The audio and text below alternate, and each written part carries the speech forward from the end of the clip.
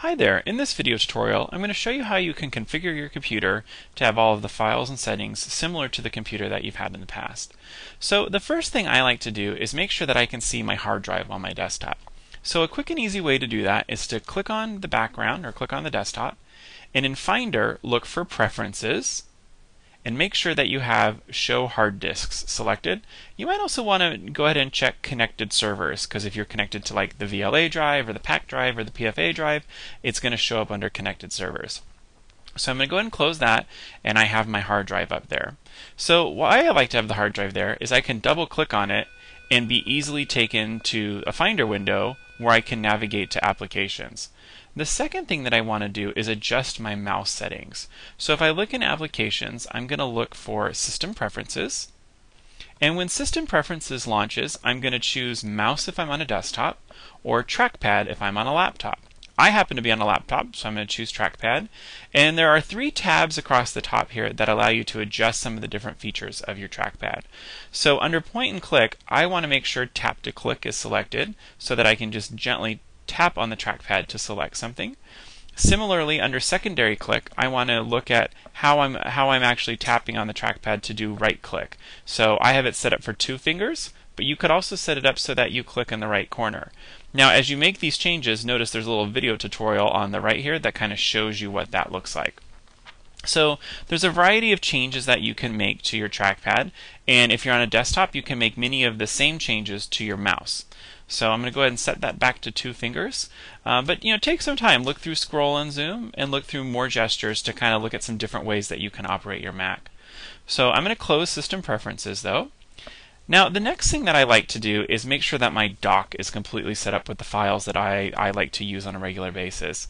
So I'm going to go ahead and drag System Preferences to my dock, because that's something I find useful to have really close by. I'm also going to go ahead and add Google Chrome and Safari to my dock. Now, if you happen to add something to your dock that you don't want, all you have to do is grab it and drag it off to the side and let go, and it will kind of poof away. But I'm going to go ahead and bring Safari back. So I have some, some of my applications there, and you can come back and add these later, but you might want to add a few of your favorites. And similarly, if you're used to maybe having the downloads folder over here, if you go back, you can actually close this and double click on the hard drive again.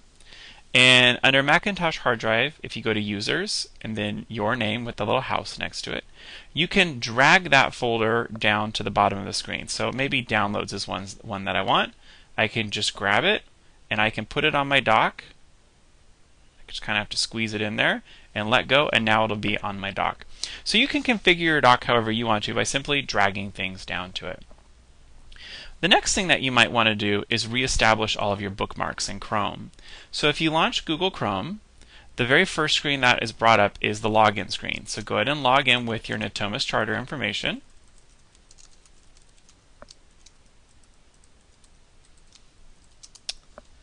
And once you've logged in, it's going to come up a little screen that says, do you want to create a new user or link my Chrome data to this account?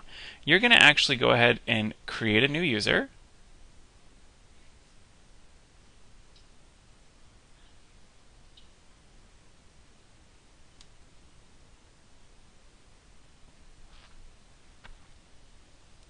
And so when you create a new user, what happens is all of the applications are brought over along with um, your bookmarks. So up here across the top, I have my various bookmarks. And you'll also have, even if you have um, some Chrome extensions set up, they'll come over as well. And it takes a few minutes, and it might be kind of crazy at first because everything's kind of launching and, and doing its different things, but just bringing over all of your data. Um, and you know that you'll be good to go when you know the tabs stop coming up. That would be the first thing. Uh, but also, as you look across the top, you should see your bookmarks here. And that's kind of a sign that all your data has come over. So finally, once that's done, you can click on a new tab, and you should see whatever Chrome applications you've installed, if you've installed any, will be in the the apps area as well. So that's kind of getting Google Chrome all set up. I'm going to go ahead though and close Google Chrome. I don't need that anymore. And the last thing I'm going to show you in this video is how you can bring your Google Drive folder back to your computer. So similar to other things we've done, you want to click on Finder or Hard Drive. You can go either way. I'll double click on Hard Drive. Go into the Applications folder and look for Google Drive. And it'll say, Do you want to open it? Go ahead and click Open. And once Google Drive launches, the first thing that it's going to ask you to do is to log in. So I'm going to sign in with my Natomas Charter account.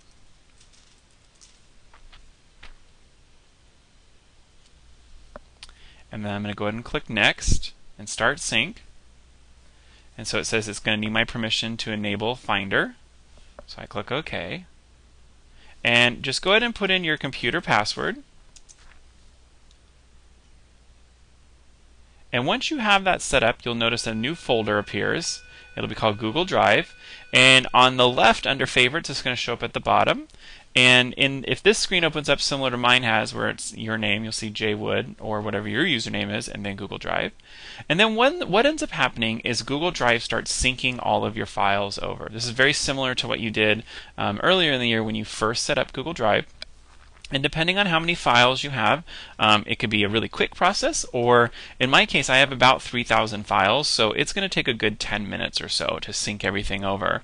But once I see my Google Drive folder, all of the applications, or not applications, but all of the icons have green check marks next to them, then that data has been sunk over.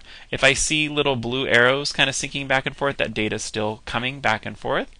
But the final way that you can check to see that all your drive files have come over is simply by clicking on the drive icon and just seeing how many files are left, and it kind of gives you a little message. Like I said, this can take a couple minutes up to 10 minutes. So that's just a quick little tutorial for adjusting your mouse, getting everything set into your docs, um, and then also bringing over your Chrome and your Google Drive data. In the next video, we'll take a look at bringing over multimedia, such as pictures, videos, and music. So if you copied those over to an external drive, look for the second video that'll show you how to bring those back.